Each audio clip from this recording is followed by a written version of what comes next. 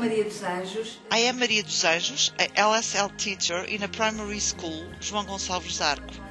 This is a class of 22nd graders.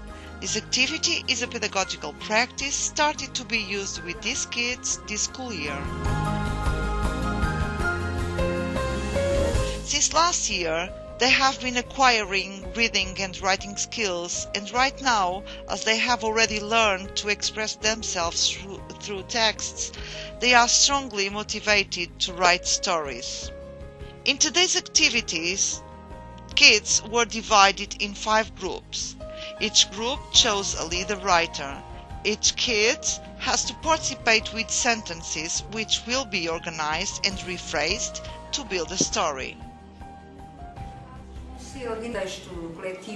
From my point of view, collaborative work is stimulating and relevant to acquire writing skills.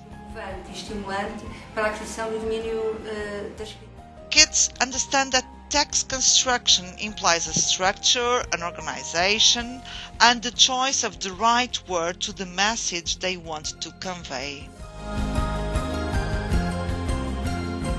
These writing activities are a good help to create an appropriate pedagogical environment.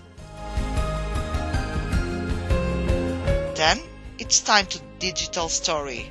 Kids go to the ICT room, write their stories in a Word document. Afterwards, they draw their representations of the stories using different tools in Paint program.